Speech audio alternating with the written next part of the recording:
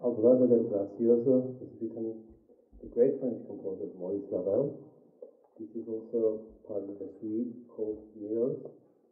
And this piece was written for piano. And after that, uh, Ravel arranged, orchestrated for a big symphony orchestra.